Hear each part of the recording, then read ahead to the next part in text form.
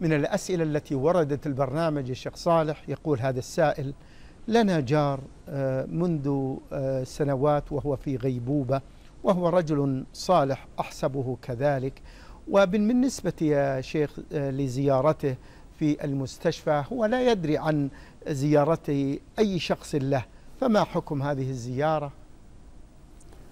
هذه الزيارة طيبة ولو كان لا يشعر بكم لأنكم تطمئنون عليه وتسألون من عنده وتطيبون خواطر أهله زيارة المريض ولو كان ما عنده الشعور فيها أجر وفيها ثواب عظيم.